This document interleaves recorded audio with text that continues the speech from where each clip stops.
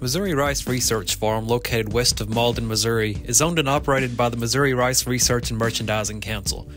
Research is conducted in conjunction with the University of Missouri and Southeast Missouri State University. Here's a look at what a typical season looks like on the farm. Once the field is prepared for planting, trip lines are marked and small plots are planted with a 7 row cone drill. Plots are inspected for proper seeding rate and seeding depth.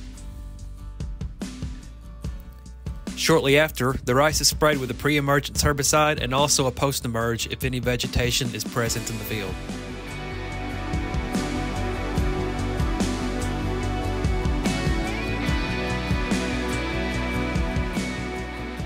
At the 4 to 6 leaf growth stage, pre-flood nitrogen is applied using a small broadcast spreader.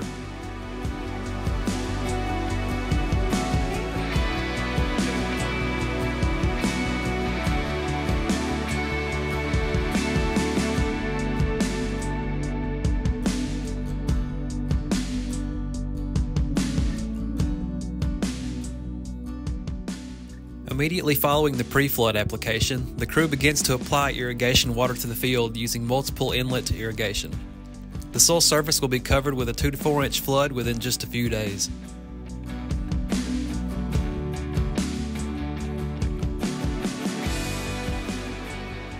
Here is rice near mid season, when rice switches to reproductive stages and begins to grow very rapidly.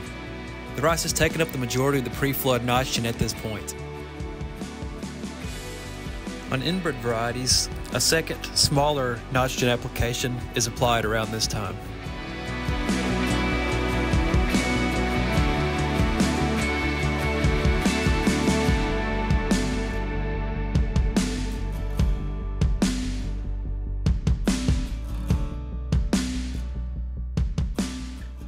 Usually around the second week of September, harvest is in full swing, when the rice gets to about 18% moisture.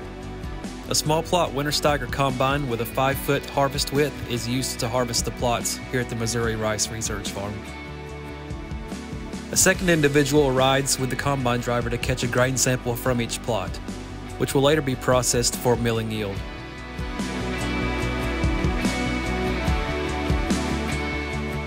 For more information about our research, please visit MissouriRice.com.